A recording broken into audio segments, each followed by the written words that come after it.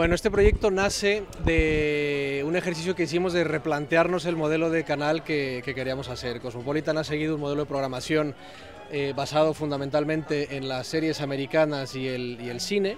Eh, y es un modelo que nos ha dado muchas alegrías, que nos ha dado muy buenos resultados tanto de audiencia como de ingresos de publicidad y como de distribución del canal, pero sentimos que estaba llegando el momento de empezar a, reinventarnos. Eh, y entonces nos pusimos a pensar, eh, empezamos a ver lo que se está haciendo en el mundo en la televisión de pago y nos dimos cuenta de que los formatos de docudrama o docuserie o reality o como le queramos llamar, eh, era algo que a la gente le gustaba ver, es decir, que, que emocionan, que son personajes que tienen una historia interesante que contar. Y fue cuando empezamos a pensar en qué personaje podría ser un personaje que encajara bien dentro de lo que es eh, Cosmopolitan Televisión y claro, la primera persona que nos vino a la mente fue Tamara.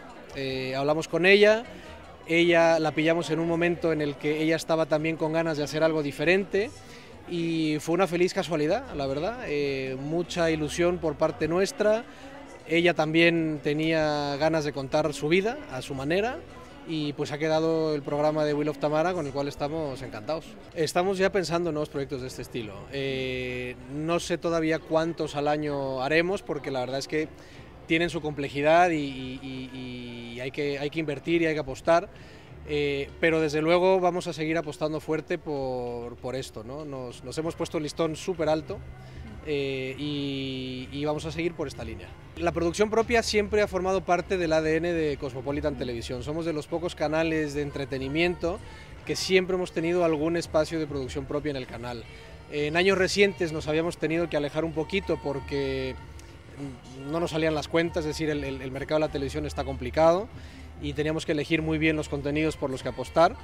Eh, pero decidimos en lugar de retirarnos definitivamente doble o nada, ¿no? reforzar la apuesta por la producción propia, porque al final la televisión de pago lo que ofrece o lo que tenemos que ofrecer son contenidos originales, exclusivos, novedosos, diferentes, y creemos que la producción propia tiene todos esos elementos. ¿no? La televisión de pago, la televisión en general en España está atravesando un momento complicado, eh, pero nosotros estamos apostando, es decir, nosotros creemos en el futuro de la televisión de pago, creemos en el futuro de la televisión, ya vendrán los anunciantes eh, y, se está moviendo mucho, hay, muchas iniciativas nuevas de televisión de pago.